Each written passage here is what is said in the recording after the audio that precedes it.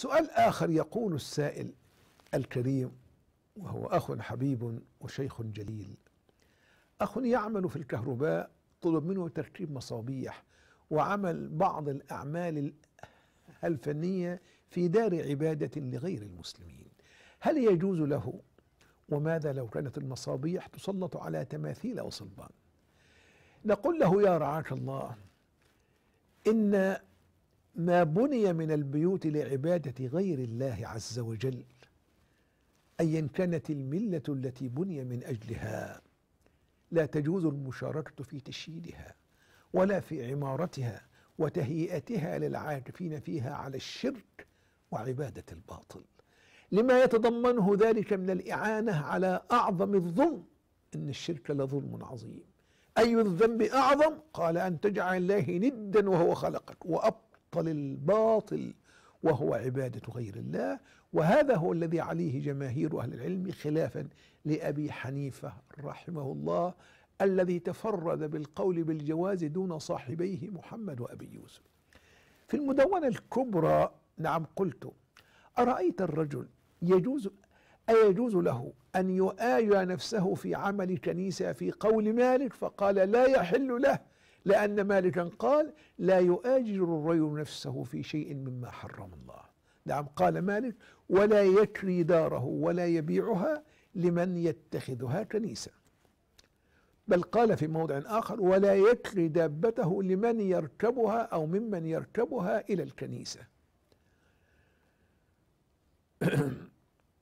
والشافعي رحمه الله يقول وأكره للمسلم أن يعمل بناء أو نجارة أو غيره في كنائسهم التي لصلواتهم.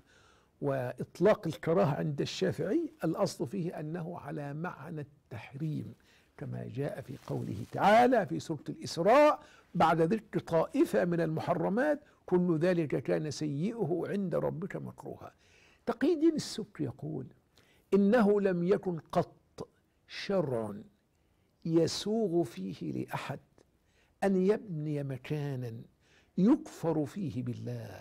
فالشرائع كلها متفقة على تحريم الكفر ويلزم من تحريم الكفر تحريم إنشاء المكان المتخذ له والكنيسة اليوم لا تتخذ إلا لذلك. النقول في هذا كثيرة عن المذاهب المختلفة أبو حنيفة رحمه الله خلافا لصاحبيه ذهب إلى القول بالجواز وقال لأنه لو بناها للسكنة لجاز ولا بد أنه سيعبد في في بيته غير الله.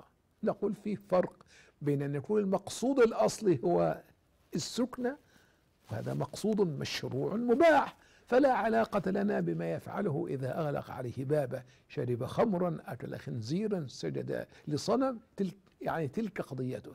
نحن ما أجرنا له على ذلك لما أجرناه ليسكن. ثم بعد أن يغلق عليه بابه هذا شأنه بينه وبين ربه. عز وجل فقياس هذه على تلك قياس مع الفارق. يقول ولأن المعصية لا تقوم بعين العمل إنما تحصل بفعل فاعل مختار. لكن هذا ال ال الأمر يصدق في عندما يكون العمل حياديا يستخدم في الحق ويستخدم في الباطل. فنقول توسطت توسطت إرادة حرة فلا ينتقل التحريم من الذمة الأولى إلى الثانية. لكن نحن أمام عمل ما أنشئ يوم أنشئ إلا للكفر وعبادة غير الله. فرحم الله إمامنا الجليل أبا حنيفة وغفر الله له. أحسب أنه قد جانبه الصواب في هذا. فالصواب المقطوع به ما عليه الجمهور وعليه فتوى المرجعيات الفقهية المعاصرة أفتى بهذا مجمع الفقه الإسلامي التابع لمنظمة المؤتمر الإسلامي حيث نص على حرمة عمل المسلم لتصاميم معابد شركية أو الإسهام فيها.